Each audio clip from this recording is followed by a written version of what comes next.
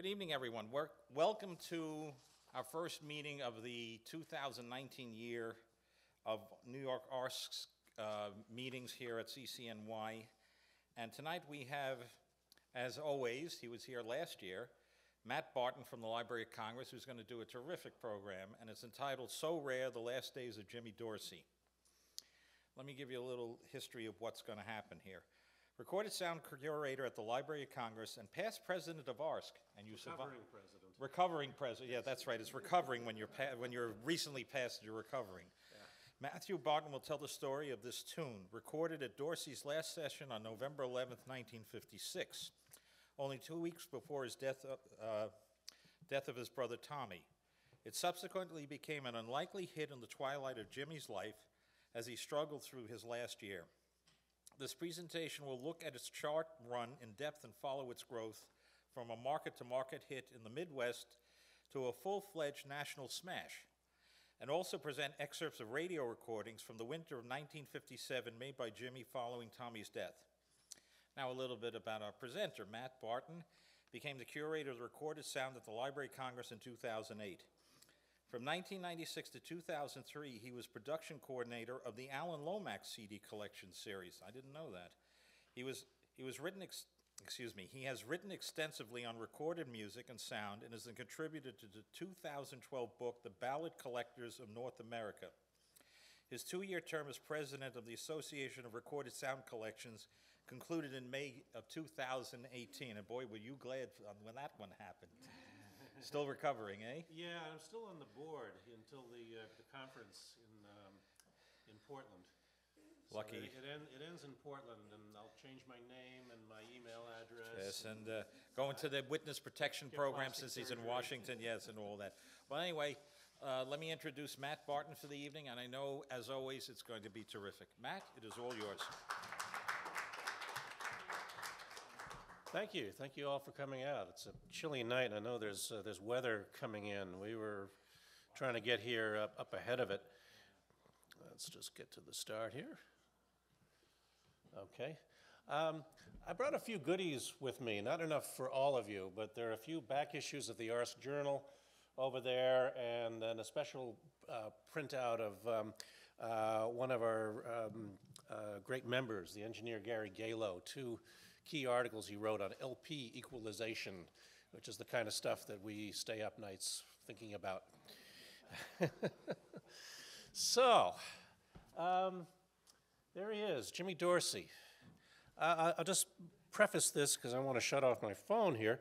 Um, I, uh, I became intrigued by this song, So Rare. Uh, before I ever heard it, I was leafing through one of the Joel Whitburn Billboard chart books and noticed that Jimmy Dorsey had a hit in 1957, the, the rock and roll era. And I thought, well, that's interesting. And I noticed that not only did it get all the way to number two, uh, it was on the charts for 37 weeks. Now, chart placings, you know, can be very debatable. You know, the difference between a number one hit and a number 10 hit is often a matter of influence, at least in the pre SoundScan days. Uh, however, you know, longevity really does mean something. And 37 weeks, which is more than nine months, uh, that's really something. So, uh, you know, I, I checked it out and sort of kind of dug into it and discovered that, um, you know, Jimmy died in the middle of its chart run and, you know, uh, just became curious and started digging and found that, uh, you know, there were various conflicting stories from different sources and I just started trying to, to reconcile them. So,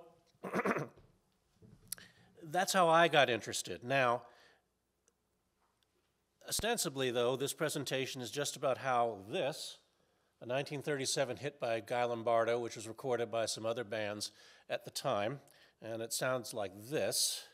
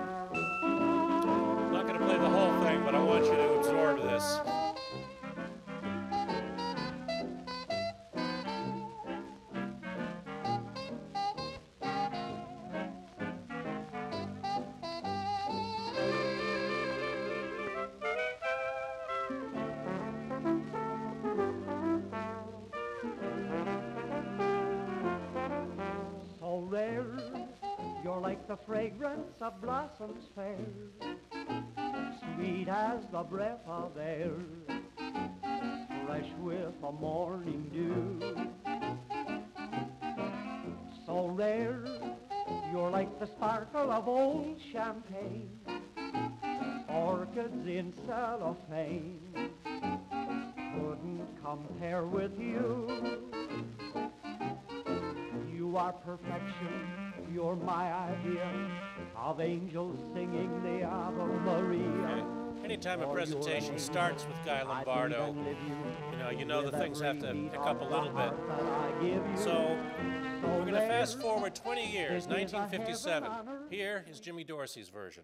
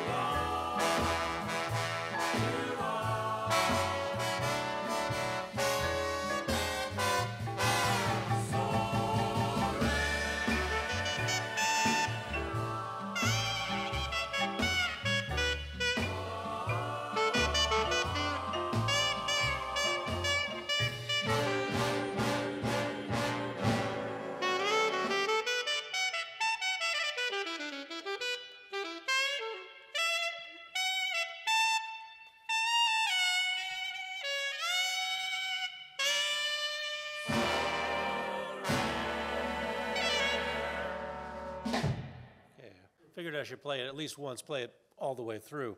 Now, it's an, it's an odd record for Jimmy Dorsey. It's an odd record for its time.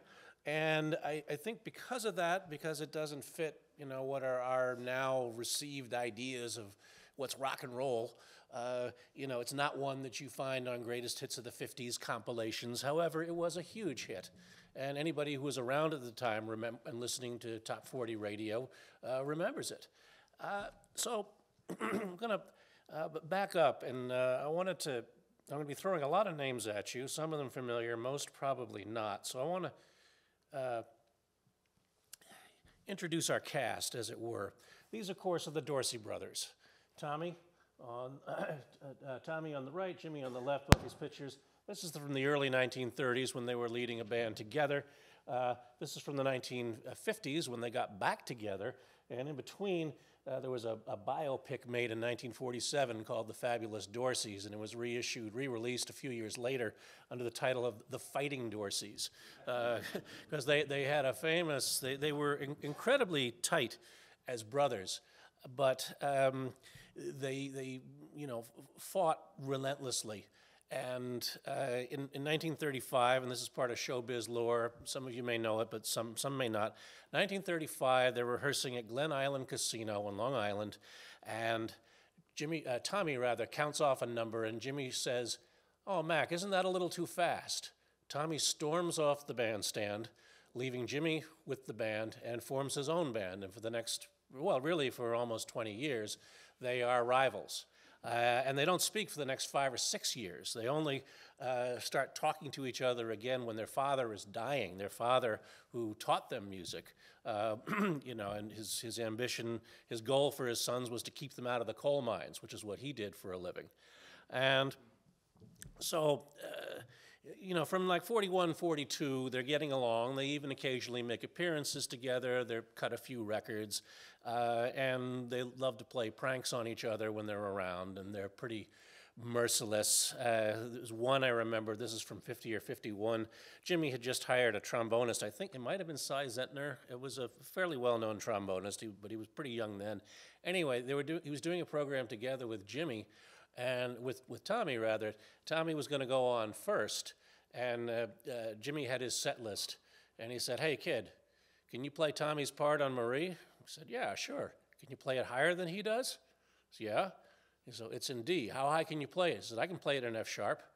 He was like, All right, you stand over there. When Tony com- Tommy comes out and, and plays Marie in D, you play it in F sharp. Must have been the most horrible thing anybody ever heard. But that's the kind of thing they would do to each other. Um, so uh, that's a little introduction to the Dorseys. Jackie Gleason. Jackie Gleason is instrumental in bringing the two of them back together as, as, a, as, as band leaders. That's in 1953. Uh, Gleason's a fan from way back, and uh, he's one of the most popular entertainers uh, of- of the age at this point. He can pretty much get what he wants. And so he, um, he's got his own, own show, which includes the Honeymooners as a segment, uh, and he starts a, um, a- second show called Stage Show, which uh, sometimes features himself presenting artists, um, but more often than not is featuring the Dorsey brothers. This is in 1953. Uh, and that, it's big news when they get back together, but it's television that really makes them a big deal. Uh, Harry Carlson. Harry Carlson uh, was the man behind Fraternity Records in Cincinnati. Uh, he's the child of Swedish immigrants who did very well in farming in Iowa. And he, um, I don't know how, just how he settled in Cincinnati. He knocked around in the music business and was friends with the Dorseys going back to the 30s. He opened a photography studio in Cincinnati, very popular, very high end um, uh, photography studio. And if you look at Cincinnati papers, uh, again and again, you'll see credits, portrait credits to Harry Carlson. He wasn't actually the photographer, it was just his studio. And uh, like a lot of people who love music, who make a lot of money in some other line, I think he was lured by what Benny Carter once called the sweet smell of failure, and he started a record company. Uh, he did this in 1954, and um, his first. Uh, this is a story from a Cincinnati paper. He had just signed Jimmy Dorsey at that time. Uh, his first artist uh, was a singer named uh, Dick Noel. And Dick Noel, that's him on the right with Ray Anthony, was a band singer. And um, Carlson released a number of records on him. Uh, he, Dick Noel was, at that point, he was doing better on radio, but um, that's Dick Noel on the left. Jerry Winters, who did some recording for Carlson. Uh, Carlson in the back, and Cathy Carr. It's Cathy Carr who puts Fraternity Records in the black. After two years, uh, in which um, Carlson said he lost $250,000 uh, on Fraternity Records, Cathy Carr gives him a, a, a number 10 hit, Ivory Tower, uh, top 10 hit. Uh, so, some more shots of, of, of Dick Noel. And then below, these, uh, this is a, a segment of the Ray Charles singers, not Ray Charles, the, um, the one we all know, Ray, Ray Charles, who was a, uh, had a group, a choral group uh, doing easy listening records. And uh, there, wearing the glasses, sort of in the center, is Artie Malvin. Now, Artie Malvin was a member of uh, Glenn Miller's crew chiefs in the 40s and uh, in, in the 50s organized a group who were variously known as the Artie Malvin Singers, the Artie Malvin Chorus, uh, and they do a lot of radio and television and they're on a lot of records. Uh, and then Neal Hefti, very well established already as an, as a, an arranger. Tino Barzie, over on the right, these are the only contemporary pictures I could find of him. He's uh, uh, the Dorsey's manager. And Lee Castle, who didn't get a subtitle. Lee Castle, the third Dorsey brother, he's a tr- lead trumpet for them. And uh, someone who's been with them, he was started with Tommy in the late 30s. Uh, Tommy loved him so much that he actually sent him to study with their father back in Pennsylvania and you know, hence the name the third Dorsey brother. And uh, he stayed with them through the 40s into the 50s, and he will you know figure prominently in the later story. And then finally,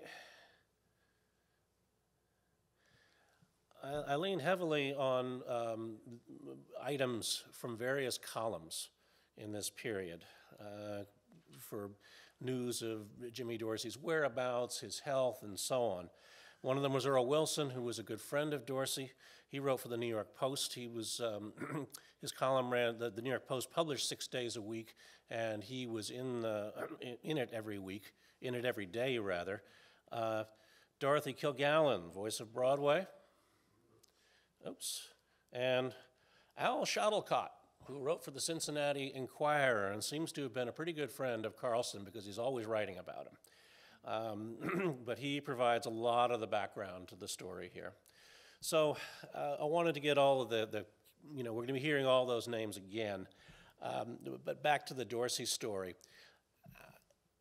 The various historians will, will cite December 1946 when eight of the major bands uh, you know, broke up, most of them reorganized, but they cite that as the end of the swing era. And, you know, I suppose it's a, a good as date as any. Um, but uh, Tommy Dorsey's band broke up. He was really reorganizing more for business reasons. He wasn't throwing in the towel. Um, Jimmy kept going. He had uh, peaked somewhat later than many of the other band leaders. During the war years was really when he was most popular, and in fact, at times doing better than Tommy. Uh, Tommy is, you know, was famed for his for his temper, for his uh, you know, leadership or dictatorship in, in bands. Uh, he was, you know, much, much admired by musicians, but also much feared. And a lot of musicians um, just couldn't take him and left. And some of them even uh, joined Jimmy's band. Uh, because Jimmy was, you know, much more easygoing, um, much more inclined to socialize with the musicians, and was, you know, just uh, generally a whole lot easier to get along. I found an interview with a trombonist named Sol Schlinger, uh, who, who played in both bands. And he left Tommy Dorsey, this is around 1950, couldn't take him anymore, and Jimmy hired him. And Tommy decided if Jimmy hired him, he must be pretty good after all. Uh, so the, the, this pattern developed where um, uh, Dorsey would call up Sol, Tommy would call up Sol Schlinger and try and woo him back. And Schlinger would go to Jimmy and say, Tommy called me, and Jimmy would roll his eyes and go, All right, what's it going to cost me this time? so, uh, but uh, eventually, Jimmy is feeling the pinch along with everybody else. Um, in the late 40s, though, he um, makes a clever move. Uh, this is when the Dixieland revival is getting going, and he realized, hey, I can play that stuff. In fact, I did play that stuff back in the day. They're partly reviving me. So he uh, put together a first-rate Dixieland combo uh, featuring uh, himself, Charlie Teagarden, uh, Ray Bauduc, um, Cutty Cutshall, a number of other first-rate players. They cut a couple of 10-inch uh, albums. No surprises in terms of, of, repertoire, but it's really a pleasure, uh, you know, to hear to hear the music, you know, played by, you know, just these these top-flight musicians who were who were there back in the day. Let me see if I can there we go. This is a version of Strutting and Some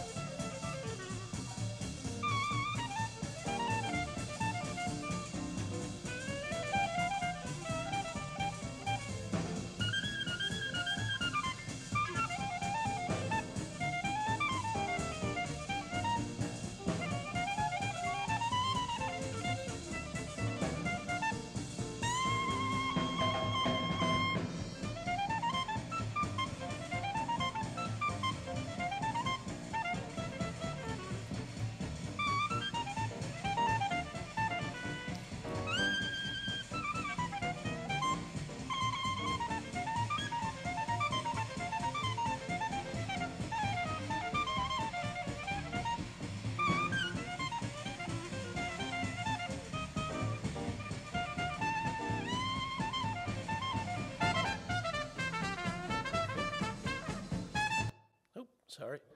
Um, didn't get, didn't put a fade on that one, sorry.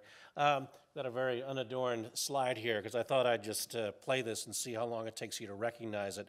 This is a, a- just to give an example of how Jimmy could be more adventurous musically than his brother. Tommy was uh, rather conservative about music. He hated bebop, for instance. Jimmy liked it, and uh, Tommy didn't think much of rock and roll, even though they later uh, uh, gave a hand to Elvis Presley, made his first appearances on stage show. Um, but he certainly was never going to. Uh, the Dorseys were never, you know, going to play that while he was around. So in 1951, uh, Jimmy does his version of a current hit. And here it is. Let's see how long it takes you to recognize this.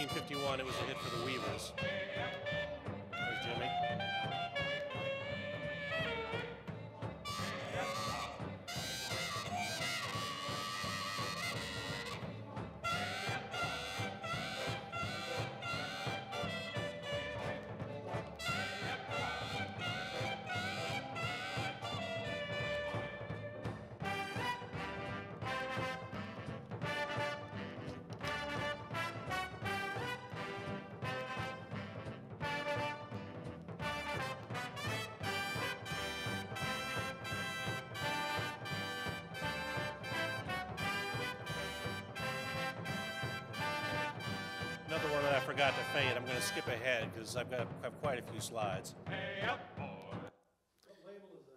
Uh, he was on Columbia at that point.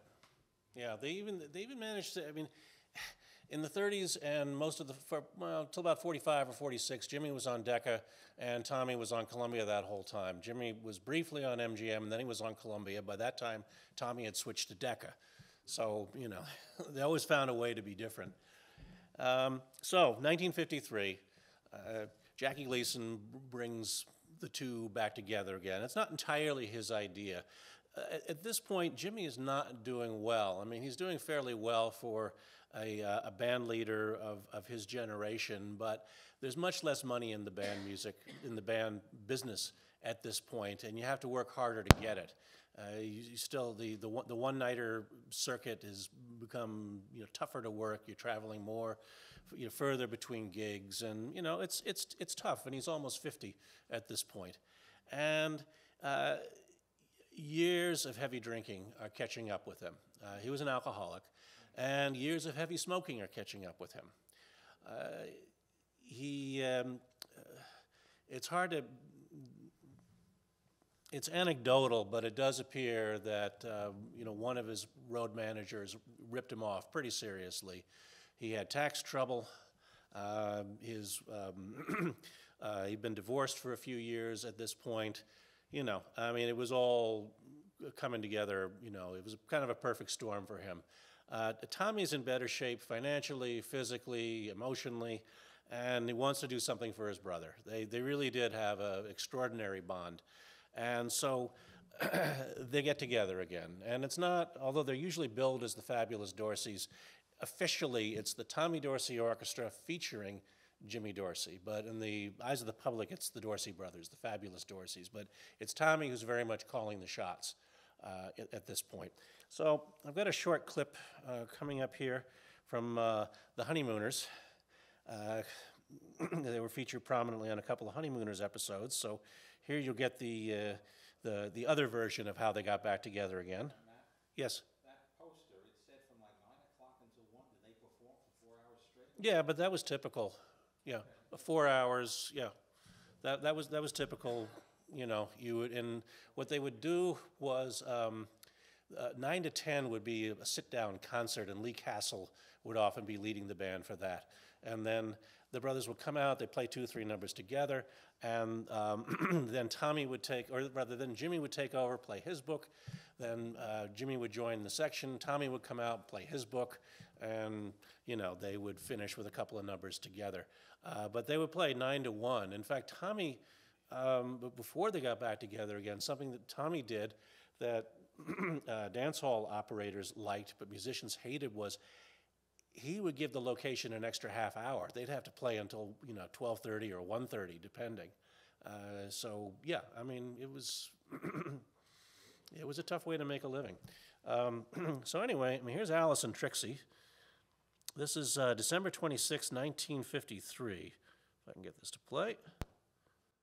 Well, do you remember last year when Ralph was on the entertainment committee for the bus drivers ball? Yeah. Remember the terrible mix-up we had because he hired Tommy Dorsey and I hired Jimmy Dorsey? And all that mix-up and everything of Ralph's actually brought the brothers together after the long feud? Well, sure, how could I forget? But, but what's the coincidence? I'll show you. Look at this. See this briefcase? Yeah. Well, when I came out of Gimbel's today, I went in a phone booth to call my mother. And when I went into the phone booth, I found this briefcase. Well, I opened it up, and it is chock full of music. Oh. Now, guess who it belongs to? Guy Lombardo.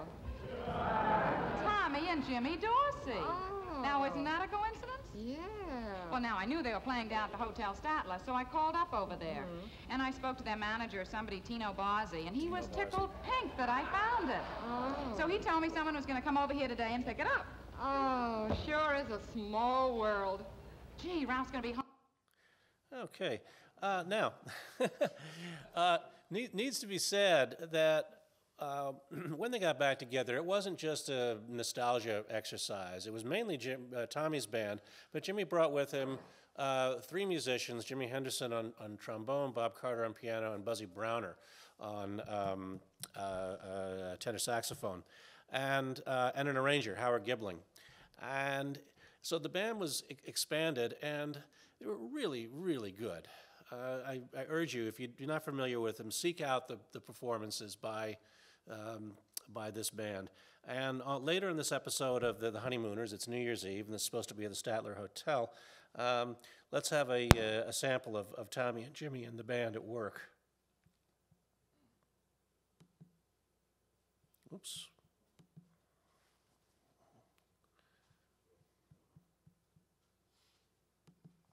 Oops. Why doesn't it want to do this for me?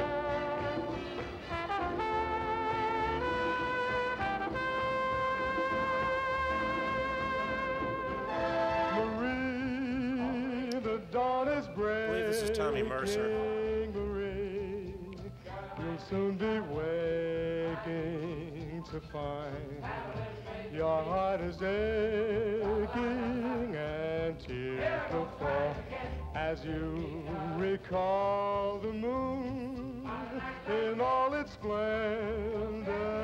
Your kiss so fairy tender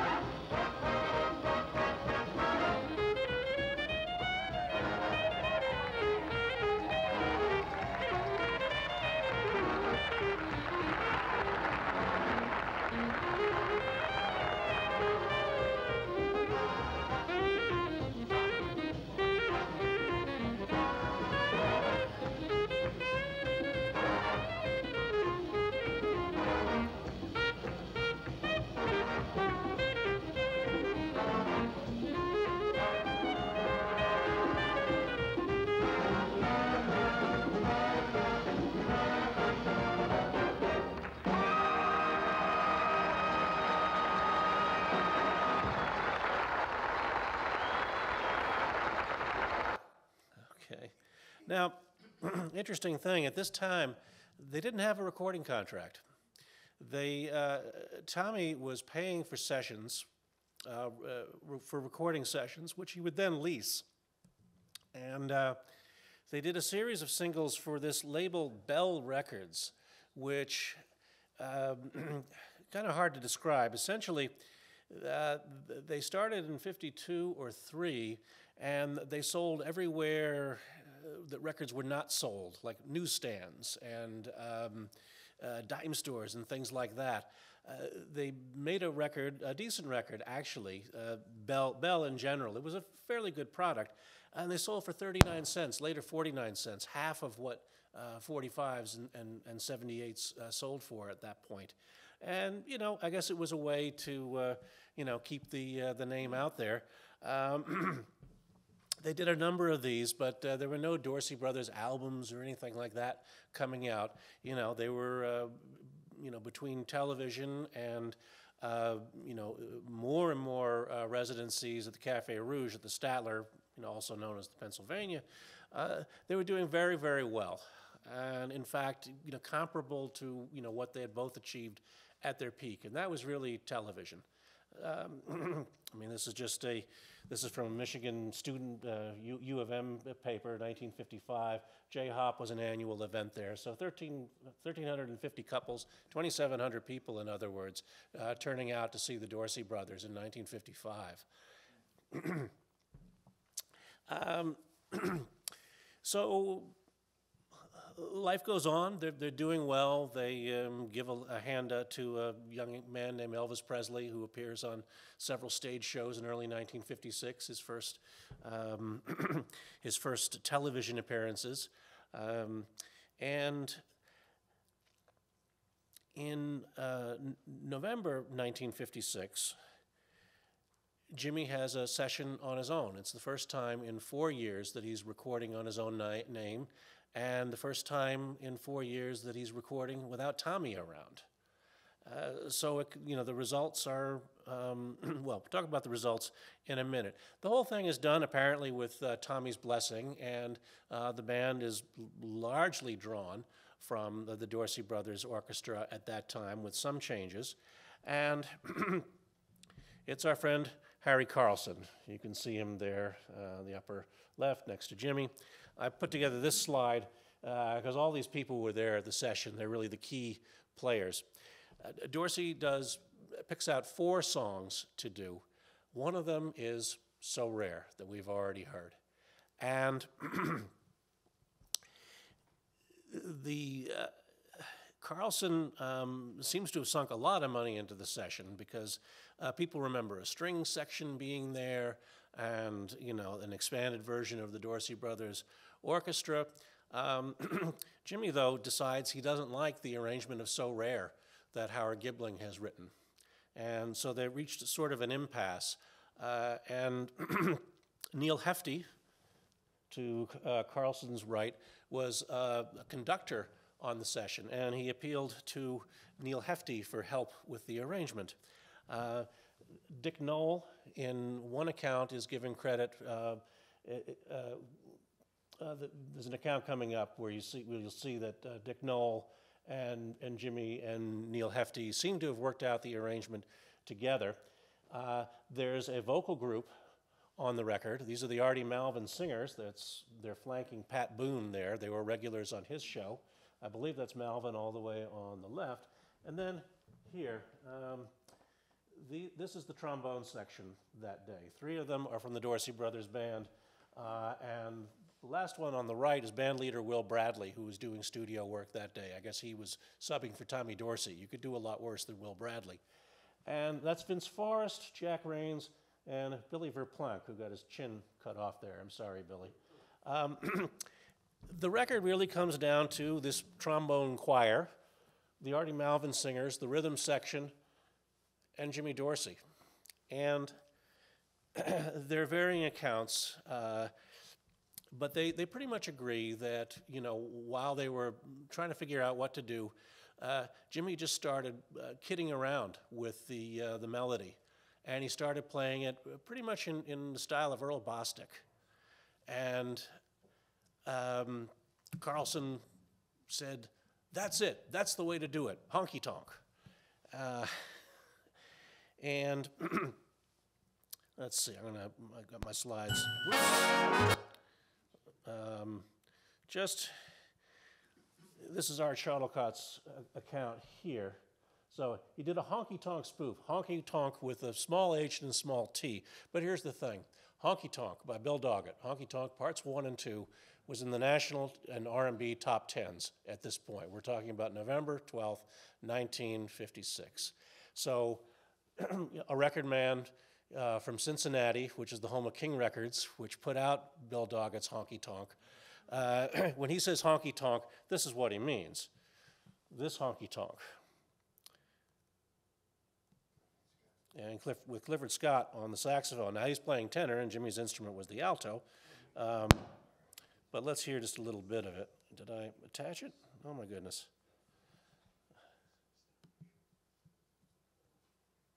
Seem to have lost the, um, the file on that one. Do we all know honky tonk? We all know honky tonk. Okay, good, good. um, but that's, you know, I think that's really, you know, decisive. You know, Car- Carlson uh, cites that record and, you know, figures, all right, let's, let's do something like that. Um, but there's Earl Bostic, you know, and just to, um, oops, just to remind you what Earl Bostic sounded like. His big hit, Flamingo, from 1951.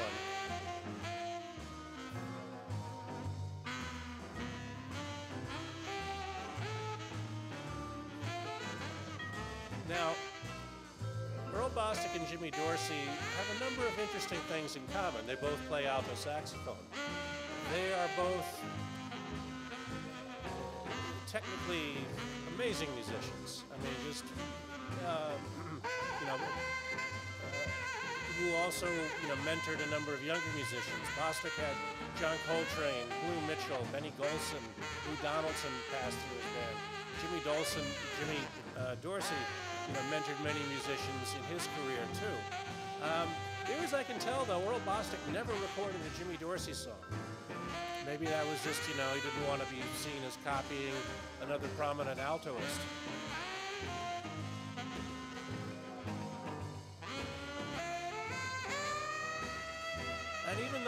Bostic has his biggest hit in 1951, and you don't see him much in the charts after that, King Records does endless singles and endless albums on Bostic. They all sold. You know, you knew what you were getting with Bostic. He was very popular. In my research, you know, I came across a reference to um, this is in 56 or 57. You know, he drew he drew five, a crowd of 500 to a club in Denver in the middle of a 16-inch snowstorm know, he had a following.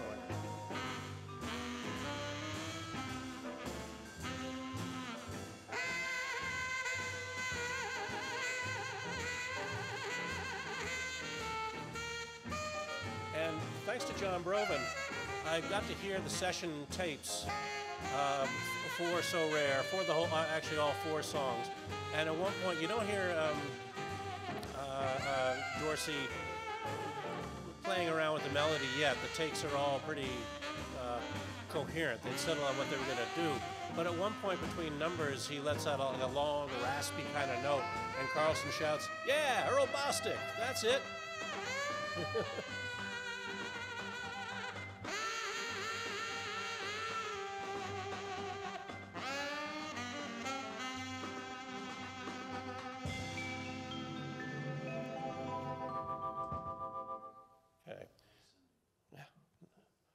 Now, I got my, didn't figure out my order properly.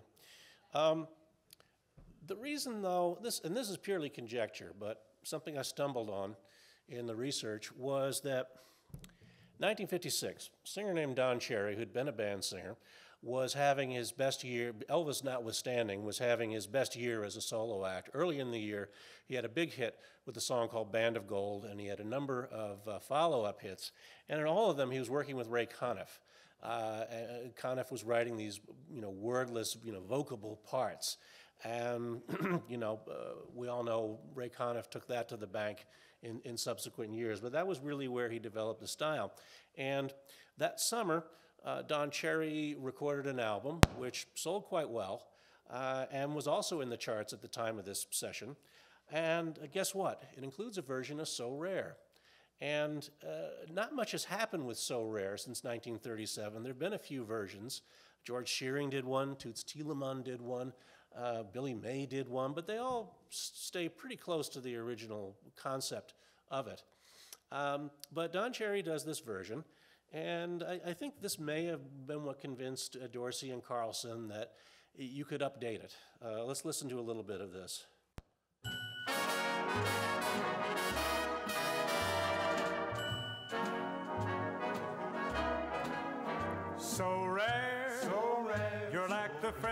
Fragrance of blossoms fair. So rare, so rare. Sweet as a breath of air.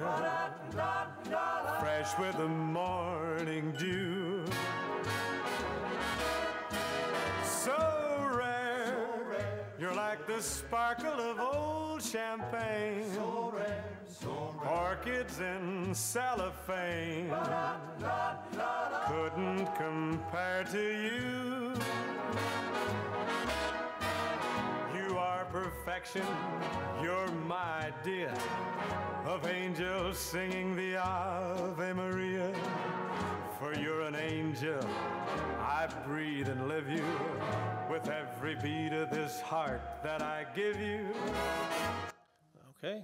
Um, I think you get the idea. You know, it's a lot looser than what Guy Lombardo and anybody else had done with it. Um, it's got a hint of a backbeat.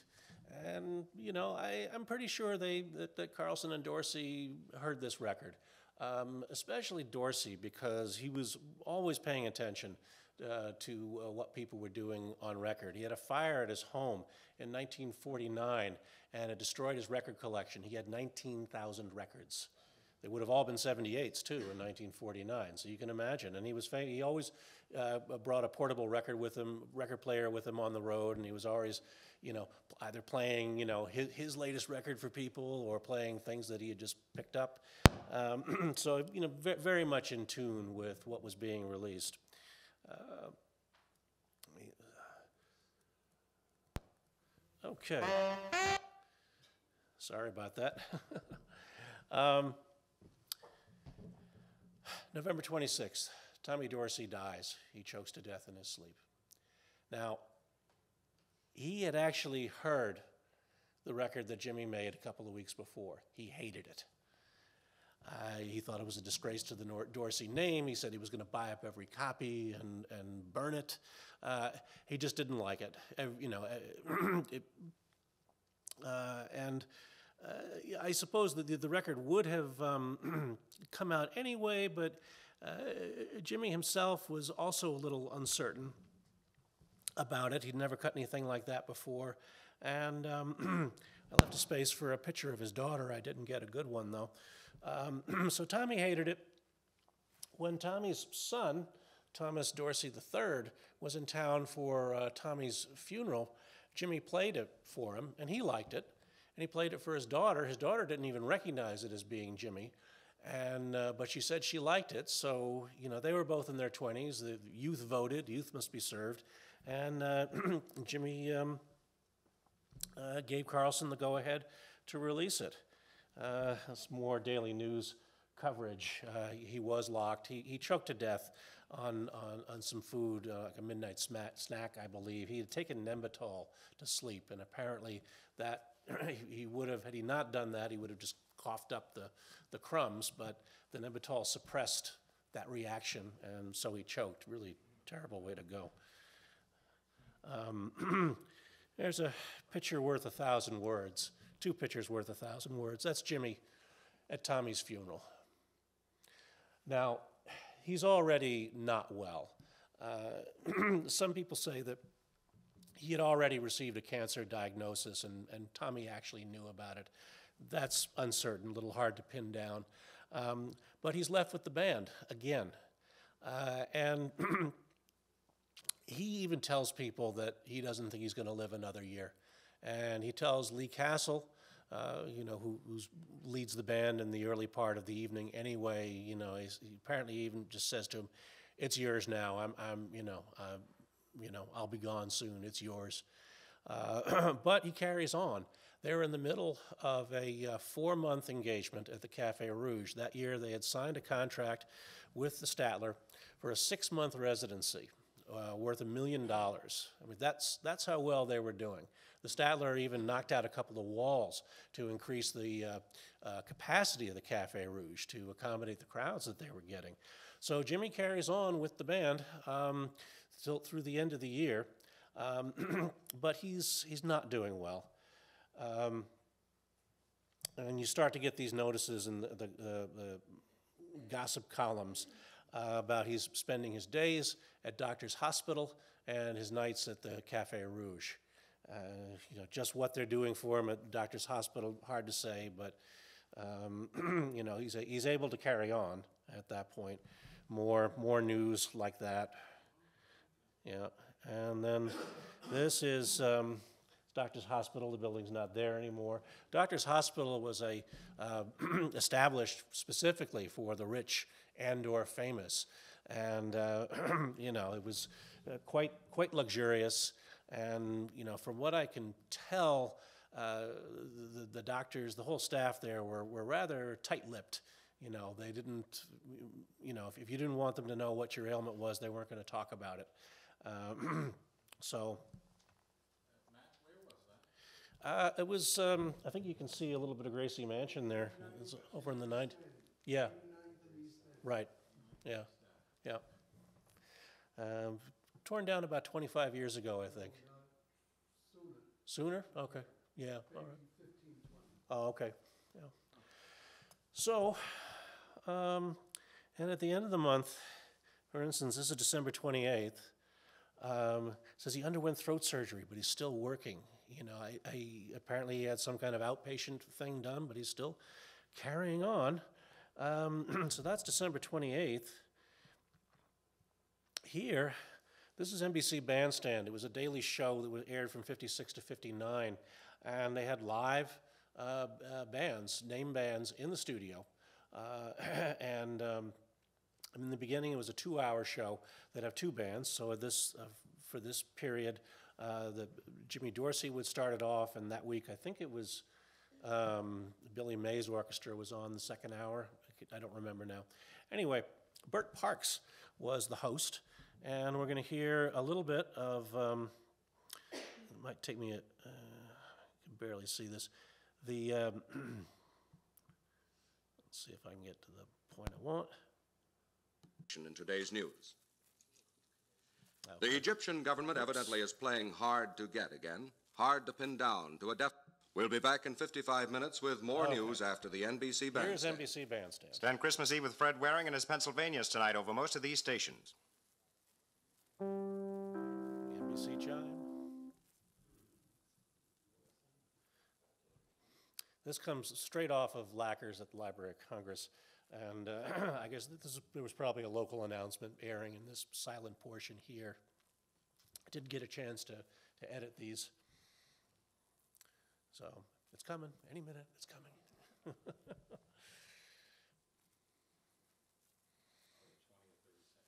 was the day before Christmas in the old bandstand room. Jimmy Dorsey is playing There's No Room for Gloom. Live from the beautiful Christmassy NBC Bandstand Room in Radio City, it's the NBC Bandstand. Contract,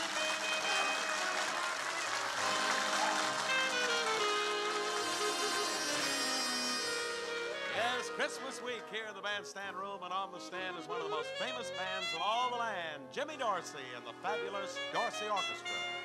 Tommy Mercer and Lynn Roberts will do much of the trilling and vocalizing this December 24th. And in our celebrity corner is song stylist Richard Hayes. Boy, these really have been Hayes days on the show. Last week, Bill, this week, Richard. And for a couple of wonderful musical hours starting right now is Jimmy Dorsey and his Makes You Want to Hurry Up and Get Your Christmas Tree Trim music. Jim, what's on our warmer upper this morning, Well, my friend? to properly warm up on a cold day, we ought to have moved to a warmer clime, Bert. Said Jimmy Dorsey looking mischievously as though he were ready to whisk us away to Spain. How about a little Spanish town, all Yeah, right? let's go Let's lay that one down. two. In a little Spanish town.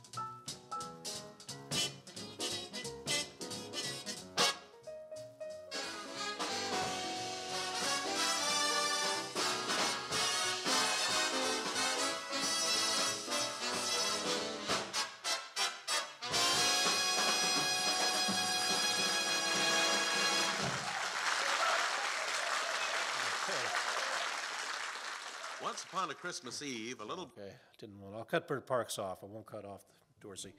Um, So, this is uh, for the New Year's Eve uh, party at the Statler, and uh, Dorsey and the orchestra were heard uh, on remotes that evening, uh, both on CBS and NBC. CBS before midnight, uh, break for Guy Lombardo, and then Dorsey was on NBC after midnight. And uh, then, after probably staying up all night, he and the band were back on uh, the uh, NBC bandstand. Try and find the uh, good part. But there, the celebrants have a morning act news. This is from.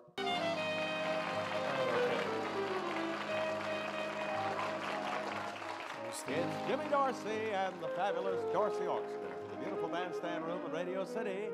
Regulars in the vocal department are lovely Lynn Roberts and terrific Tommy Mercer. And our celebrity spotlight shines on America's favorite man about moons, Vaughn Monroe, right now.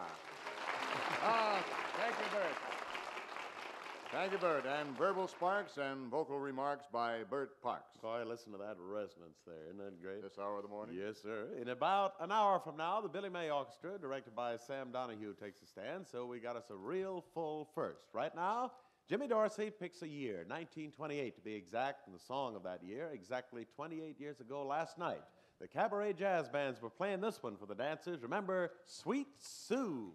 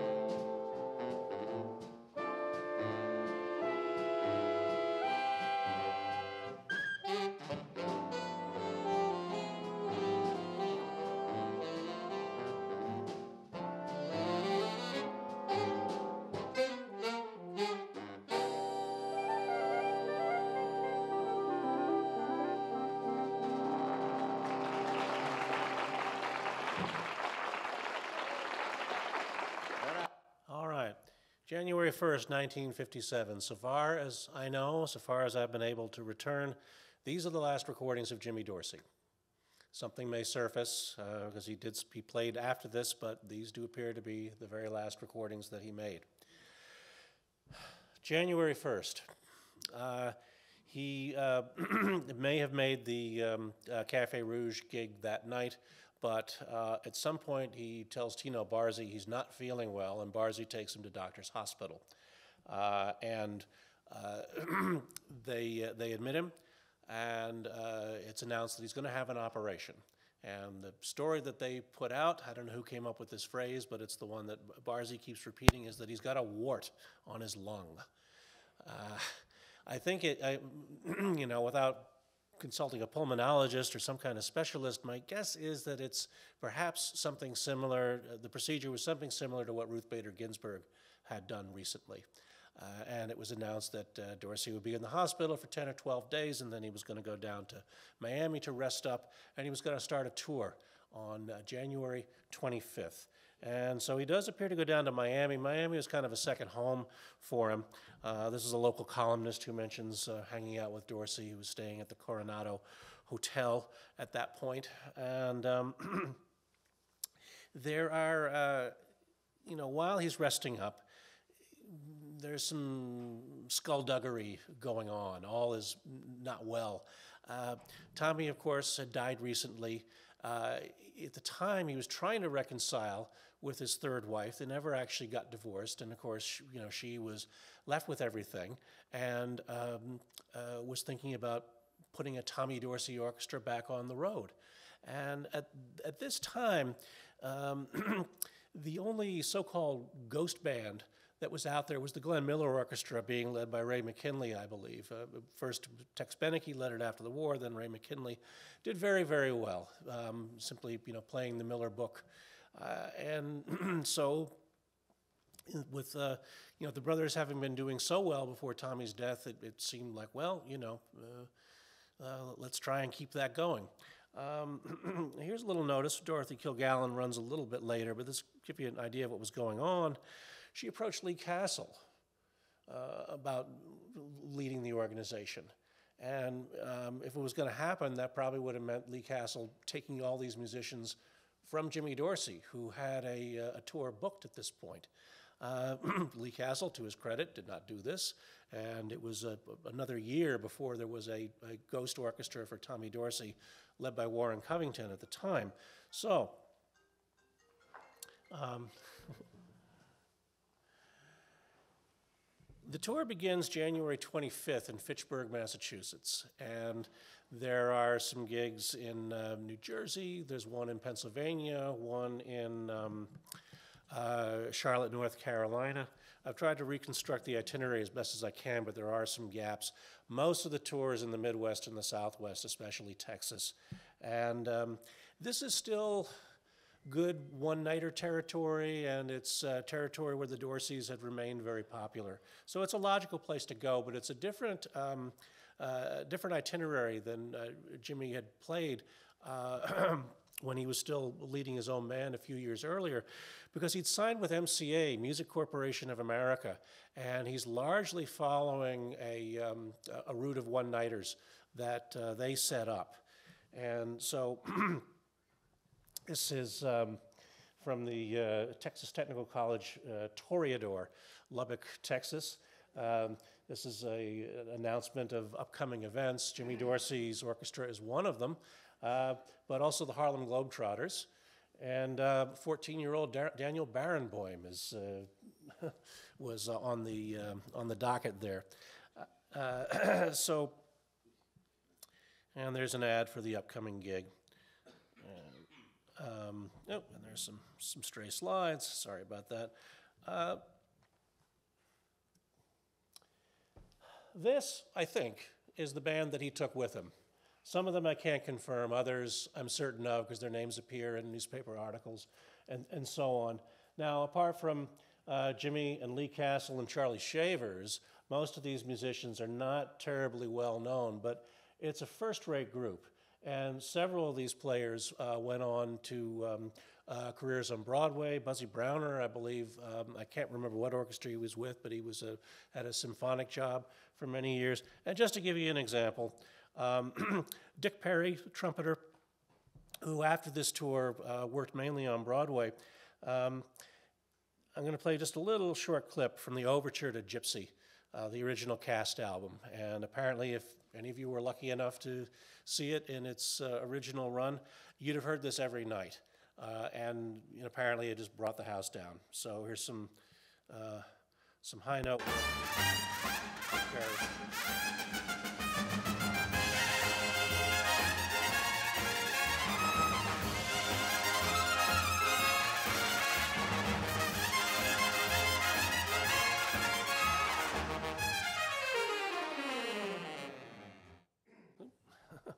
Short and sweet.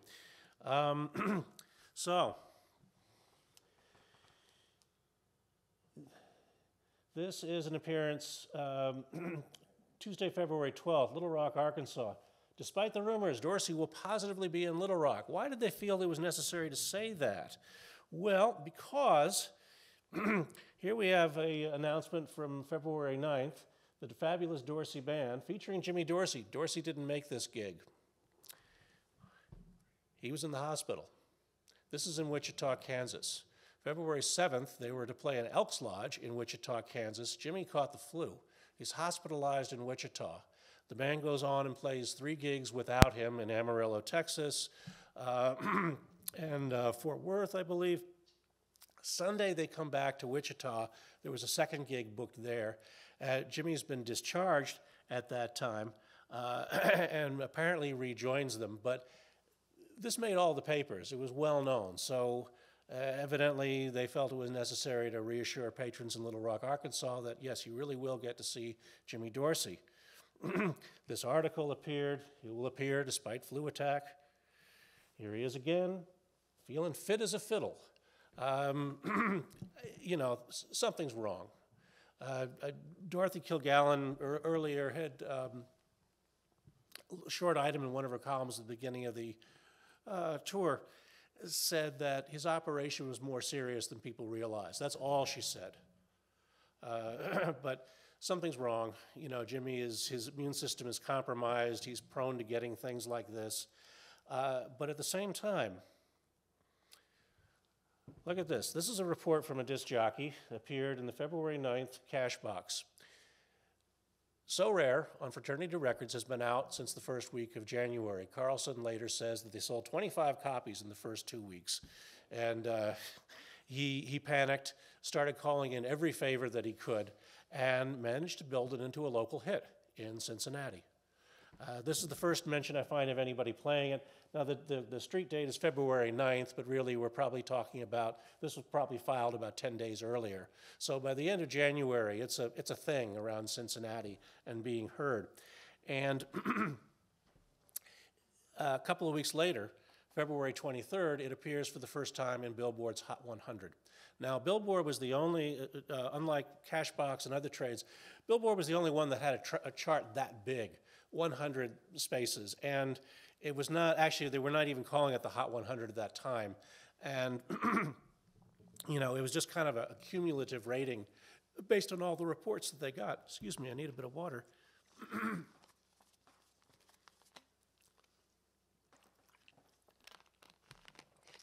It comes in at 86, and that probably reflects um, the action in Cincinnati and uh, adjacent areas. Um, but that's, you know, that's pretty remarkable in itself that uh, Jimmy Dorsey in 1957 has released a record that is actually a hit, if only a local hit. Now, just an aside, go back to our friend Earl Bostic for a moment. On February 28th, Bostic goes into the studio in Los Angeles. Uh, the Jimmy Dorsey's record is on the chart. I'm sure this is not lost on Sid Nathan of, of uh, uh, uh, King Records. For the only, as near as I can tell, for the only time in his career, Bostic goes into the studio with a chorus. And he cuts a version of September Song uh, with, with a chorus. Let's just hear a little bit of it.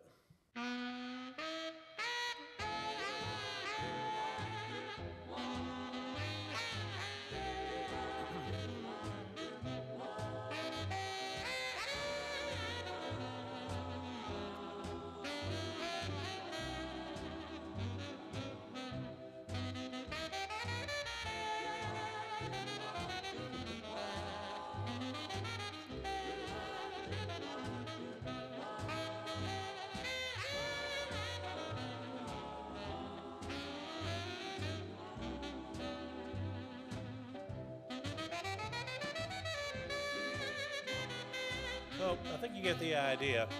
Uh, nothing much happens with the record. It's not a hit, and it's a formula that Bostic and Sid Nathan never try again. But one of these things that you, you, you stumble on and you think, coincidence? No, I think not. Here's a re- review of a uh, record that I haven't been able to track down. Um, somebody else tried the formula, nothing happened. Uh,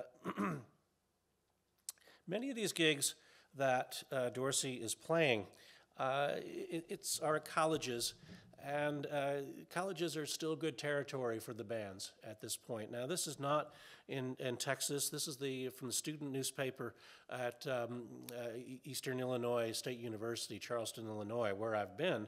Um, it's it's a nice place. It's a small town. Uh, this was in student paper, noting that uh, they were trying to get Dorsey, and then um, from the same issue, an editorial complaining about the, uh, the powers that be at the university are only bringing in classical music, and the students need something a little lighter, please. And they mention uh, Dorsey down here. Contract is signed, he's coming. Another, um, you know, the attendance, okay.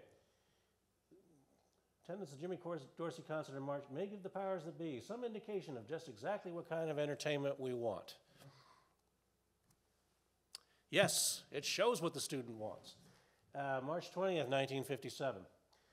They drew 1,400. And uh, the, the size of the crowd that Dorsey was drawing, it varies. There was a gig in San Antonio, only drew 200. Uh, there was another one in Sonora, which is a small town, but it was an annual event that they had there uh, in a warehouse, drew 2,000. Uh, Alva, Oklahoma, another small town, but it had a university, played in a uh, 3,000 seat venue. So, you know, the numbers vary widely, but, you know, there's, there's an audience there. Um, now, uh, it does appear that after that stay in the hospital, Dorsey is making all these gigs. I haven't been able to find anything that said he didn't. But then, uh, this is from March 11th uh, newspaper. Uh, I don't know how well you can read this. This is a clip I found and then couldn't find it again.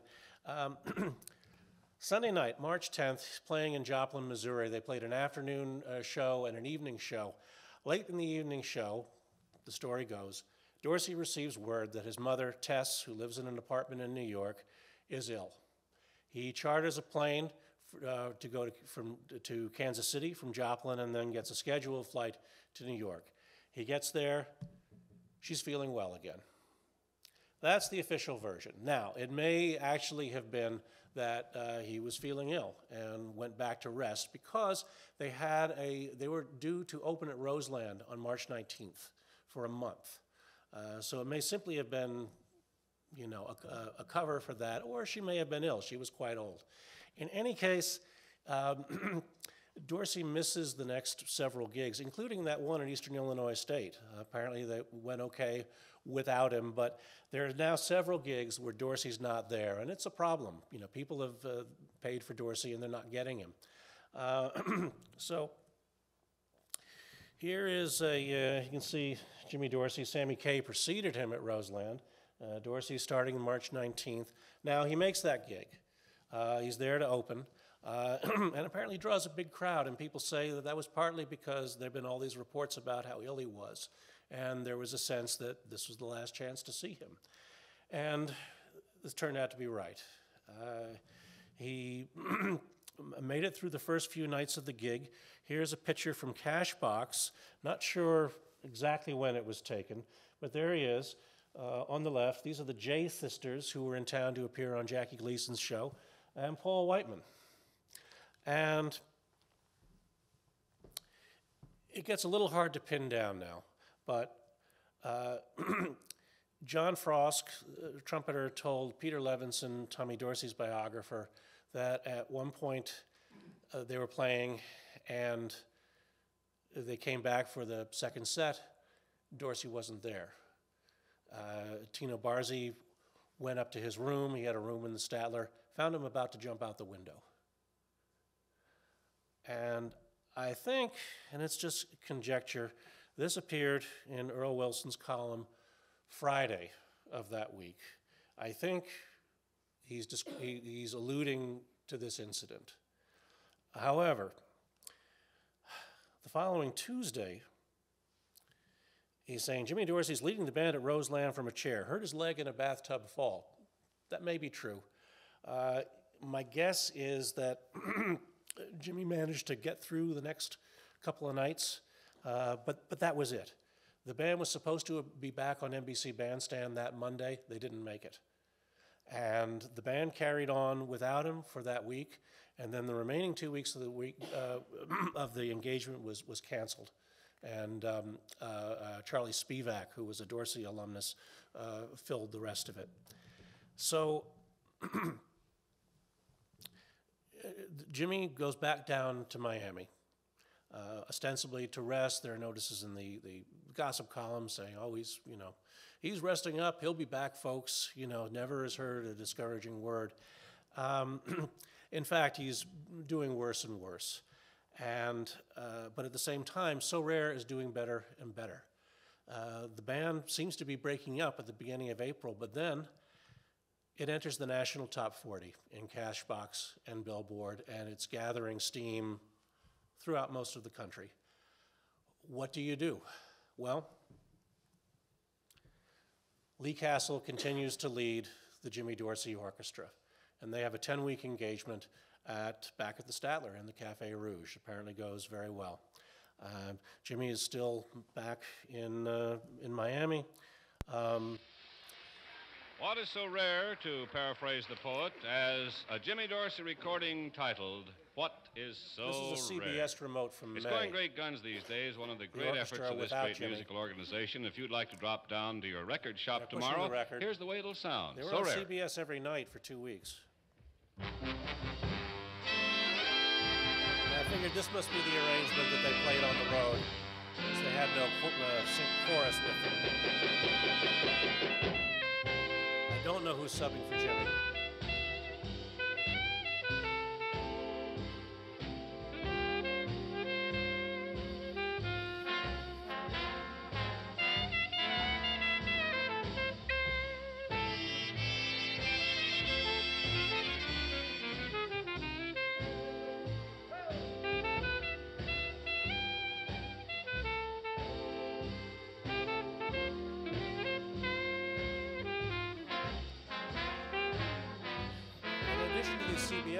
Remotes, the band is being heard on NBC's Monitor program on the weekends. So it's here that all this goodwill that Jimmy has built up really comes into play. And the record might have made the top 10 without that kind of push, but you know, who else was getting this kind of play at that point? It ensured that Jimmy's original audience uh, got to hear the record over and over again. So you've got teenagers buying the record, and you've got this original audience buying the record. What is so rare, to paraphrase the poet, as Oh, don't want to repeat that. Um, this is from the middle of May. It's topped the half million mark. Now, in addition to the old audience and the young audience, it's also reaching the rhythm and blues audience, the African American audience. Now, it's in this period, and um, it's harder often to um, track the um, uh, records in this market because of the, the charts were simply smaller. Billboard uh, at this point had an R&B chart with 15 slots on it. Uh, Cashbox is doing one with 20 slots, sometimes 25. So uh, you know, it takes longer for records to appear there. However, Cashbox is running this territorial tips. Uh, this is from all of their, uh, you know, R&B uh, disc jockeys and, and retail outlets. It's alphabetical, so you can't tell just how well something is doing. But you see, So Rare is there.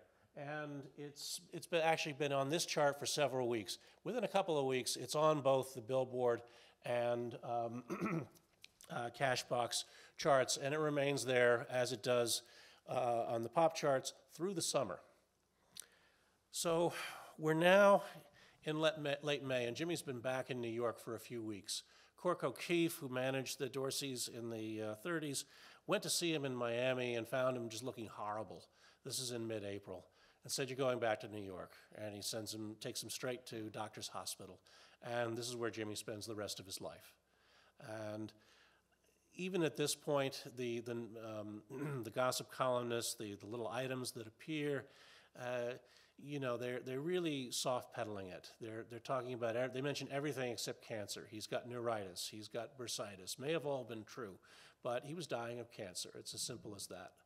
And by the, the middle of May, he's, you know, un, under heavy sedation. He doesn't always recognize people. He's having, uh, you know, bad days and not so bad days. So, you know, Bing Crosby tries to see him a couple of times, and they actually say no, he just can't see anybody now.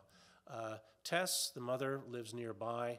She's at the hospital every day, as is Lee Castle, and um, a number of other people that come by when they can. You know, they uh, go to his room where uh, the nurses are actually, you know, posting uh, the chart positions for Jimmy. He can see how well So Rare is doing, and presumably, I, I, he may have heard some of these band remotes too. But he's going, he's going fast.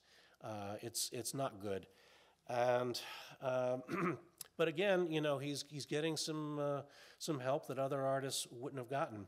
Um, we're going to see a clip of uh, Perry Como from late May singing So Rare. Well, the reason we chose So Rare, friends, this week is because it's a big hit record for one of my uh, very dear friends, namely Jimmy Dorsey.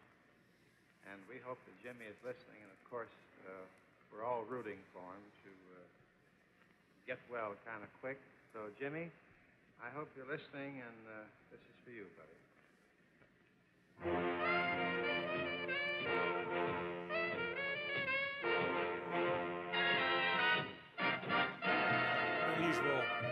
chart for So to hear Como singing with, I think. You're like the fragrance of blossoms fair.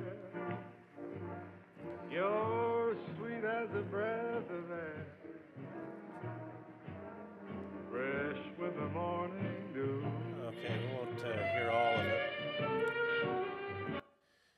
It's a very uh, poignant uh, item that uh, Dorothy Kilgallen ran. Uh, Russ Morgan was an old friend of the Dorseys, went all the way back to uh, Pennsylvania with them. Uh, Russ Morgan's band boy visited Jimmy Dorsey in the hospital and, you know, found him in a good mood, but, you know, he just nodded off in the middle of a sentence. They finally start acknowledging, you know, how, how badly off he is. This is from May 27th. And he dies on June 12th. Um, I chose this because it was a Pennsylvania paper. They, they put it on front page, gave it a heavy coverage. And Jimmy was divorced, but he never remarried. Their mother, their father were, were very devout Catholics. And um, Tommy, who'd been married three times, um, uh, could not be uh, receive the rites of the Catholic Church, but Jimmy could, and he had a, um, a solemn requiem at St. Patrick's on, I believe it was June 17th of uh, 1957. Here's Tess Dorsey being helped into the church, and the quality of this photograph is very poor. I'd like, like to find a. It looks like it's snowing. It wasn't, uh, but that's Jimmy's coffin, and. On the far right, this is Guy Lombardo. Next to him is Jackie Gleason. They were honorary pallbearers, um, as were um, uh, Harry Carlson, um, Rocky Marciano, and a number of other uh, notable people. Uh, and uh, finally, a few weeks after the funeral, Tino Barzie, um, uh, you know, comes clean and starts talking about what Jimmy was actually going through. And he says, you know, Jimmy was suffering from an incurable cancer of the lung. There are some people who can be told these things, and Jimmy was not one of them. So, according to, to Barzie, and this may be so, all of this, all, all of the um, announcements that they were handing out and avoiding the, the, the word cancer was so that Jimmy wouldn't know how bad off he was, and he was on the road. Um, a doctor had told Jimmy's mother that it would be better for him to be on the road playing than not. I, I don't know. I don't want to you know, question what a doctor said at, at this distance, but you wonder, you know, was it really the best place for him to be? Uh, you know, doing one-nighters in, in Texas um, just a couple of months before he died. That's how it was. Uh, somebody remembered, uh, somebody found out that um, Sharpe and Herst, who wrote It's So Rare, So Rare, were still around and happy to cash the checks that they were getting. Uh, thing about them, this is the only hit they ever had. It's virtually the only thing that they of theirs that was ever recorded. So, you know, they got a nice windfall in 1937 and another windfall in 1957. Um, Harry Carlson is in New York, and uh, he says, by agreement with Dorsey, they were there to record enough material to create a Jimmy Dorsey album, with the, adding that to the four tracks that had been recorded in November. And um, with uh, Dorsey's assent, it would be Dick Stabile, uh, who sounded a lot like Dorsey and was a fine player, who would um, be Jimmy Dorsey on those records. Now, it's very important that there was never any attempt to conceal th- th- this. When the album was released, it states very clearly that Jimmy Dorsey is on four tracks and Dick Stabile is on the others. And they released a single uh, featuring Stabile called June Night, uh, which was actually something of a hit itself.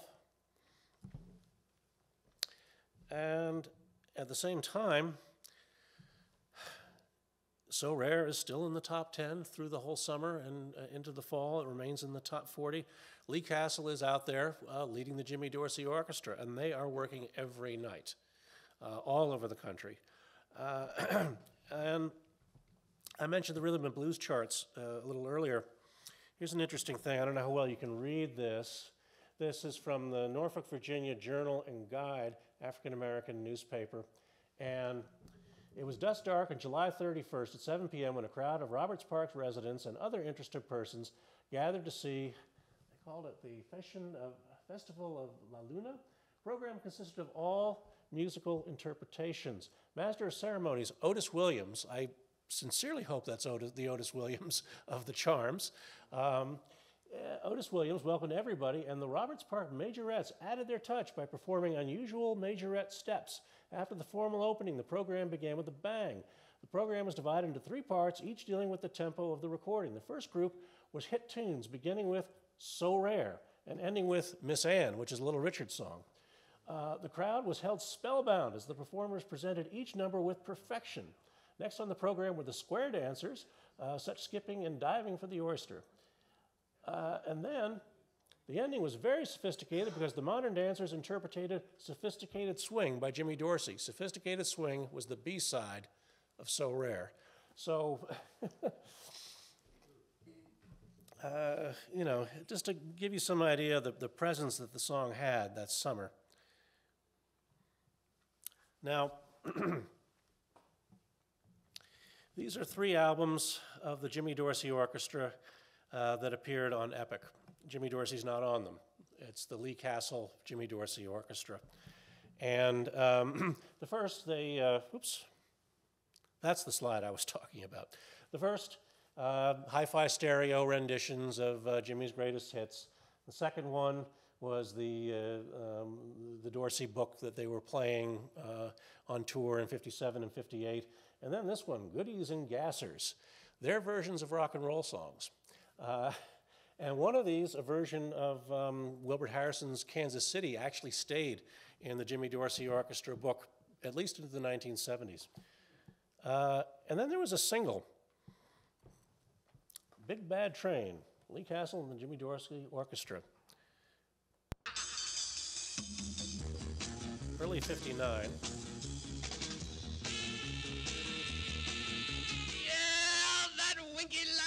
Burning bright tonight in my Thursday brain. This is I Pete Myers, song, Mad so Daddy. I'm gonna send along. Ohio Radio. Now, the big bad. This was not a hit, but Myers really liked it and used it as one of his themes at the time.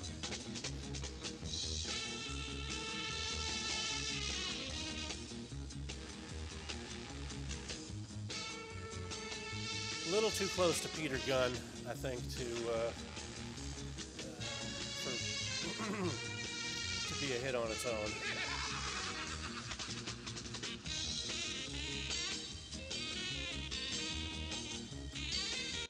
There's a good shot of uh, Myers.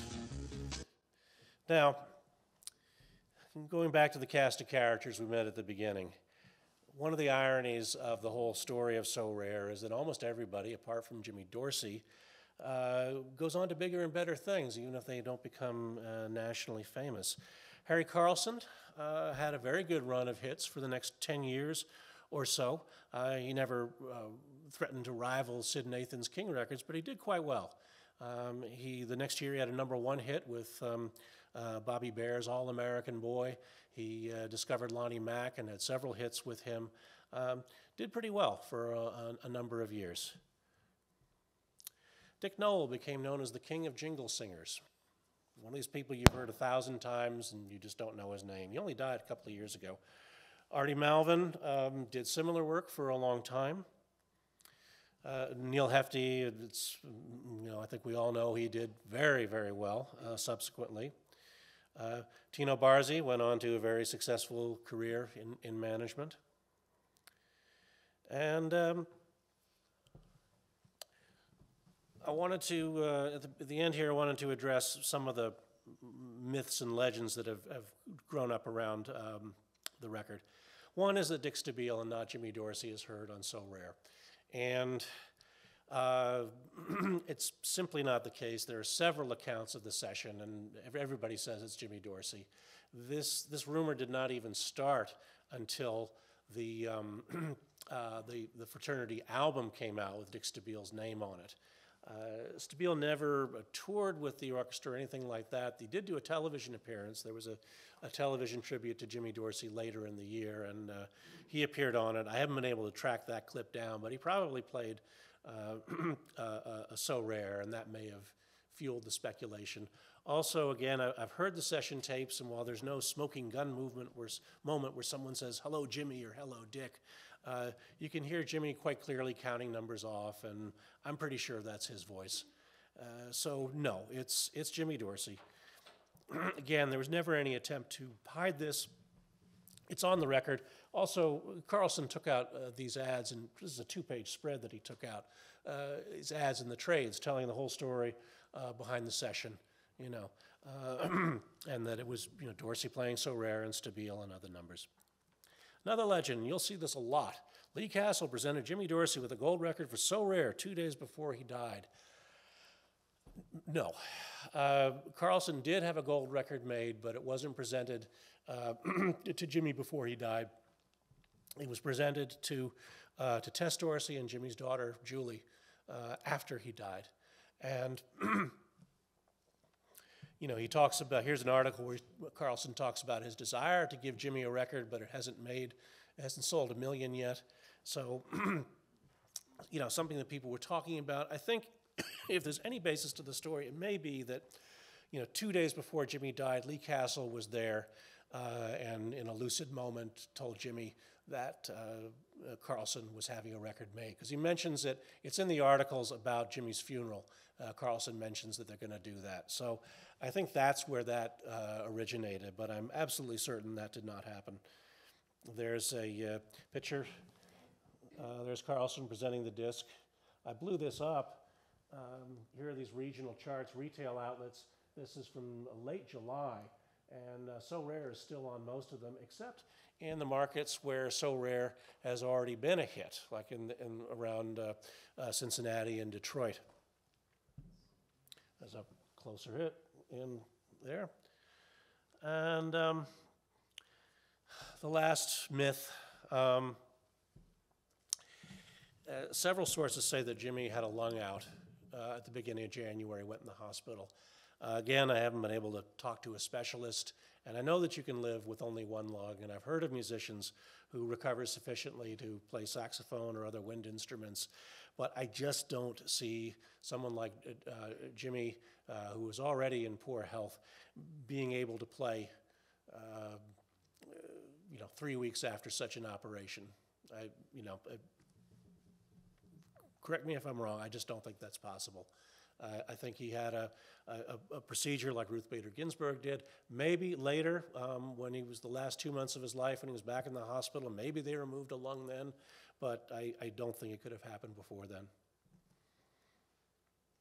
And, oops, yes. Um,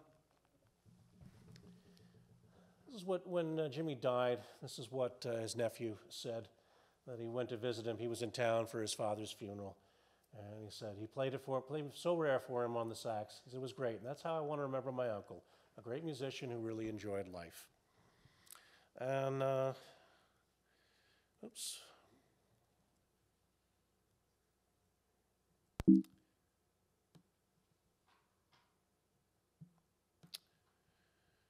And I think that's the end. So.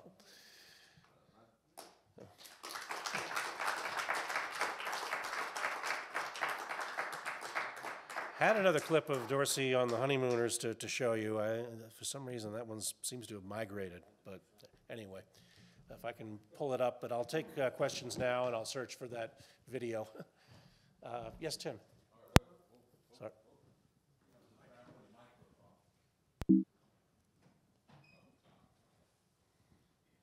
The other three, um, the other three sides that were cut at the So Rare session. Yes. Uh, are they anywhere in any way similar? Are they as No, adventurous no, not at all. Except they, except they do have the same kind of arrangement with the trombone chorus and, and the, the Malvin singers. Are they trying to make the charts? Are they trying to be contemporary on those? They don't. on none, none of them seem like good single material to me. One of them is a version of um, uh, Mambo Number Five by Perez Prado, you know, which had been popular, Right, and, and right. Jimmy had had a number of Latin flavored hits. So, you know, maybe that's what attracted him to it. Uh, Sophisticated Swing, which a number of bands, it was a 30s number, a number of bands had cut that. And then one of Jimmy's own compositions, It's the Dreamer in Me, one of the songs that he co wrote with uh, James Van I'm thinking the performance style. I mean, they were going for the charts with this. Oh, with yeah. That heavy backbeat and everything. Yeah. yeah. With, well, and also he's not playing that raspy bluesy style on, on those either. okay, one other question. Did he promote this record on his on his Oh, yeah. tours? Yeah. So he's playing it regularly from the time yes. it came out? Yes. Yeah. Interesting. Yeah. sort of a, an adjunct side point, but you showed one slide where it was a period where there was no uh, there was no recording contract, and they had leased the recordings out, and they were released on I think it was called Bell. Bell Records. And you yes. showed the two. Yeah. And it jogged this strange memory for me. Now I think this is the I found the same clip. Bell We'll play it Records- after the questions. same Bell Records that, that existed through at least through the mid 70s. I know in my s- stacks of records, all of a sudden I saw the Bell in a silver three circle kind of Partridge Yeah. Family and Rumpelstiltskin was the name of a Yeah. band. And an, Yeah, there, there's a there's a history there. John Broven can probably reconstruct it better than I can. Uh, but Yes, uh, the the Bell label that you showed, Matt, was uh, founded by Arthur Shimkin, and um, it was a budget label. Uh, it was uh, related to Golden Records, a children's label, and was in fact owned uh, by Simon and Schuster. And uh, then it gradually progressed where um, Arthur uh, handed over the reins in the in the early 60s, and Larry Uttal took over the Bell Records, and I think you're referring to the Fifth Dimension and uh, Lee Dorsey and so on.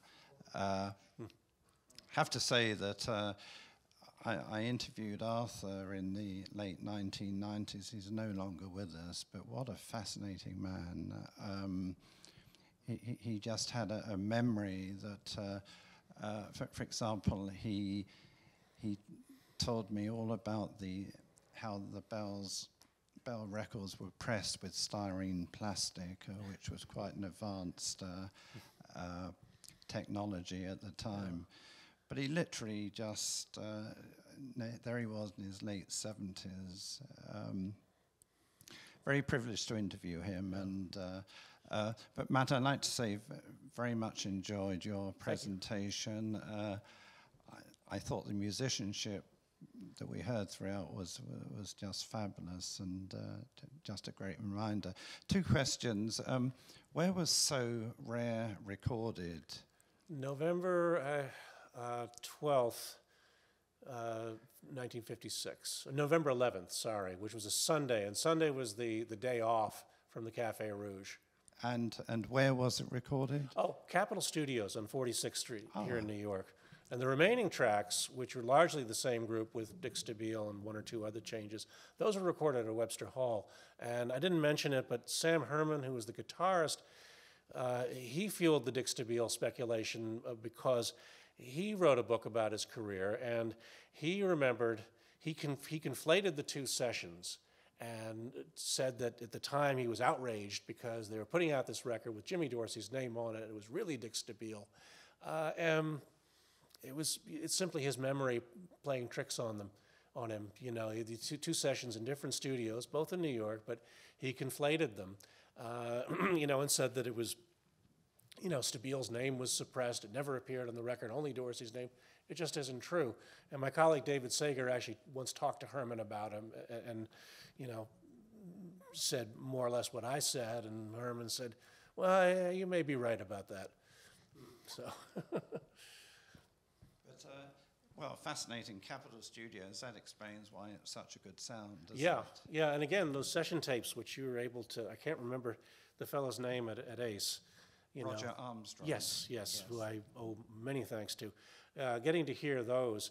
Uh, oh, one other thing. Um, a lot of accounts say there were only two takes of So Rare. There were actually six or seven.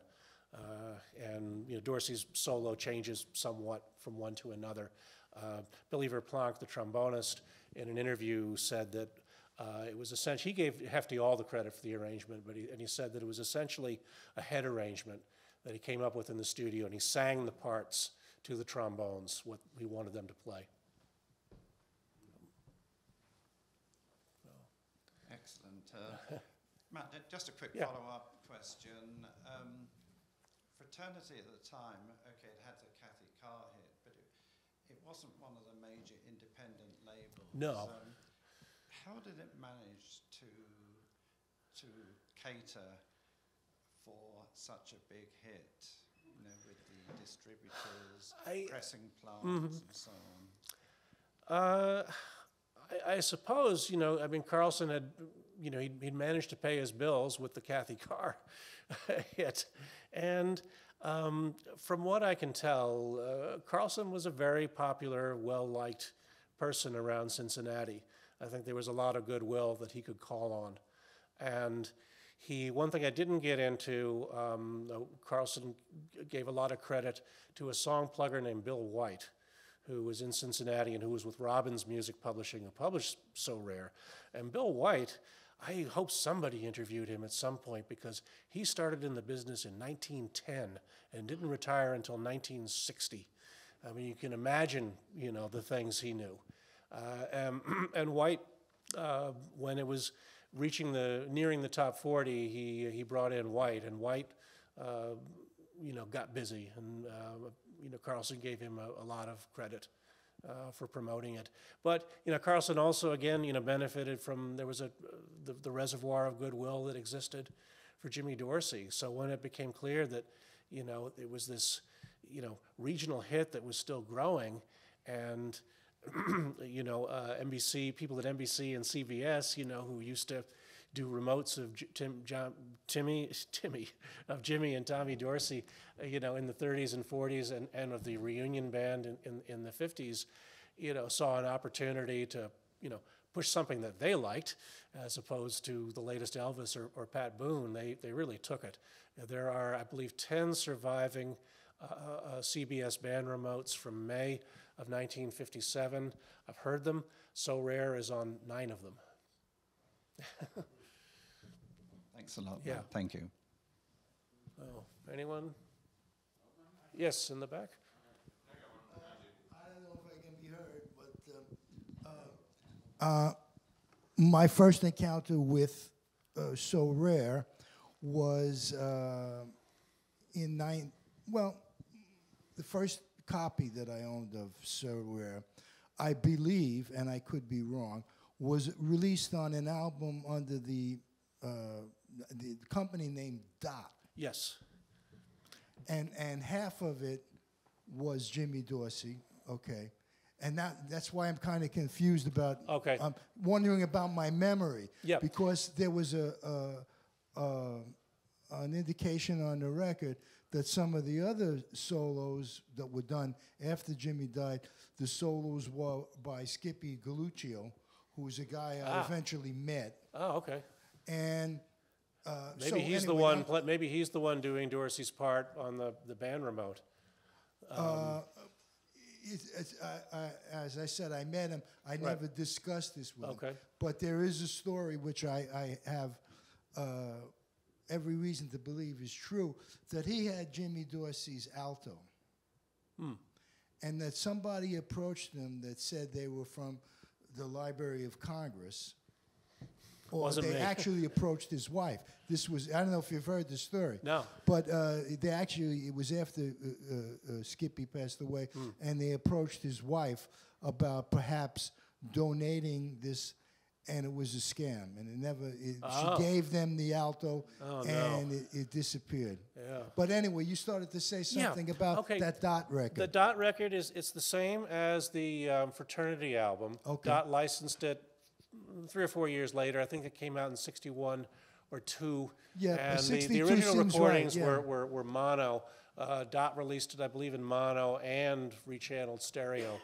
Uh, uh, and I've, I've actually, I, I- don't think I've ever seen a copy, or if I did, I wasn't, didn't have the interest and didn't read those notes because that, Well, I'm- what I'm you say sure about I Skippy still. Galuccio, that's not on that information. He's credited, but that information is not in the notes to the uh, fraternity release. oh, really? Is that so? Yeah. That's interesting. The fraternity release has notes by uh, Earl Wilson, Jimmy's friend, and it talks about the sessions, and um, he also, you know, tells stories about Jimmy, and it's it's very sweet actually, because it covers the whole back cover, and at the end, he writes, "Gee, I've been writing for a long time about Jimmy. I must have really liked him." Also, riding up here, Milton and I were listening to uh, a thing I've had uh, for many years, back to 62 or 63. Uh, it was a double Capitol, uh, no, I'm sorry, double Columbia set with both Tommy and Jimmy on the record. And some of the charts were by Dean Kincaide, and some of them were by Ernie Wilkins. Yeah. It was, a, it was kind of like, some that stuff sounded like, kind of like a Basie record. Yeah. You know. Yeah, and there were a number of, there was Howard Gibeling, there, there was Ernie Wilkins, and one of the uh, Lee Castle albums I showed you, the Jimmy Dorsey on Tour, which is not a live album, uh, four or five of the tracks on there are Ernie Wilkins compositions. Yeah. Yeah. Um, so, yeah, I mean, he was one of the, um, you know, principal arrangers. Um, I, th- I think the only uh, contributed one uh, piece to the Dorsey book that they ever played, uh, but uh, Tadd Dameron uh, Oh, yeah, yeah, did a piece called that, too. Bula Beige, Yeah, uh, which that, Jimmy continued to play after Tommy's death. I heard that too. Yeah. Yeah, so, Over here? Just a bit of incidental intelligence. Cancer was treated as if it were a dirty word, Hmm. and even as if it could be con- contracted simply by mentioning it. Hmm. The closest one got until, oh, I guess about the 70s was the big C. Mm. Yeah, yeah, because it wasn't um, it wasn't until the very end. I mean, really after he died, that they said it's cancer. It was cancer. That's what he died of.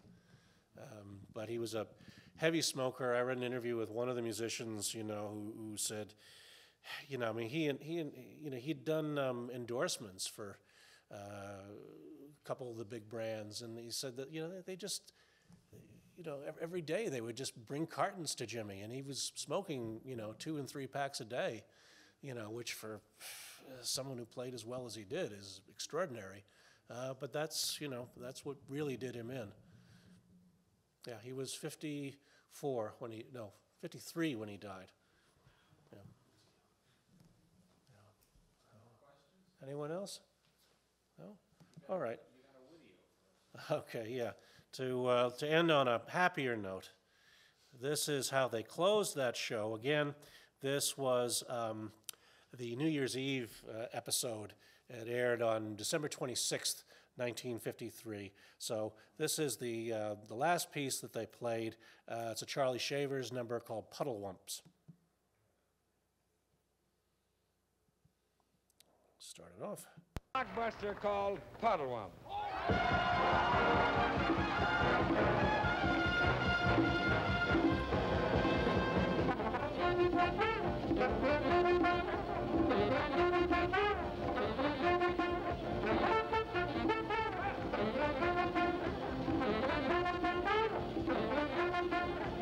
Thank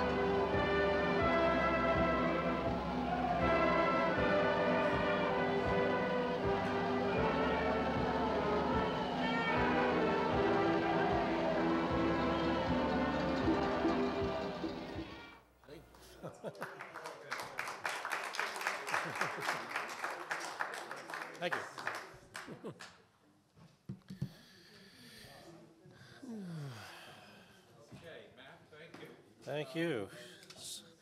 Wow, it went a long time, didn't I? You leave, hold on, folks. Let me just let everybody know that our next meeting is going to be on February 21st, and it's going to be Christopher A. Brooks, who's the co-author with Richard Sims of Roland Hayes, The Legacy of an American Tenor, which was published by University of Indiana Press in 2014, and will offer an appreciation of Hayes's career and recordings. Stay warm. Let's hope we don't get much snow over the weekend. Uh, who knows what's going to happen tonight? But thanks again. See you next month.